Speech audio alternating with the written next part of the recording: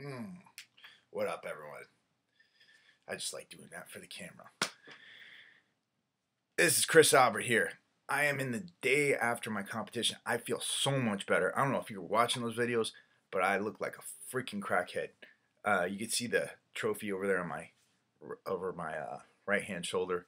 Took second place, novice division, Los Angeles Championships.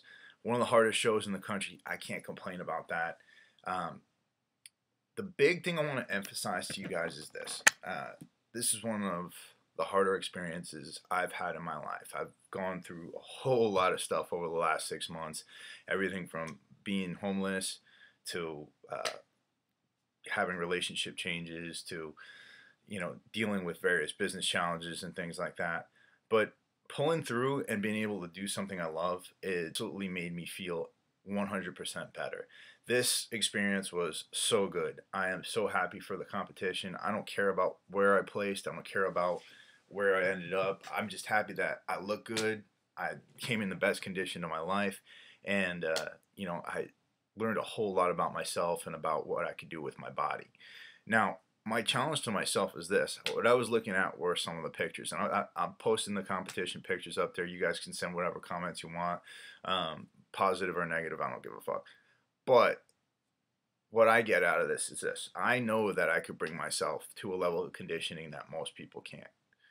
Um, well, they can if they listen to what I and a few other people have to say, but um, I know that I can do that. What I the challenge for me is is getting bigger, and so one of the things that I think I've done in the past is I've tried to stick with my comfort zone and, and rely on my kind of conditioning and not focus on putting those hammers and nails in there, actually putting on the muscle.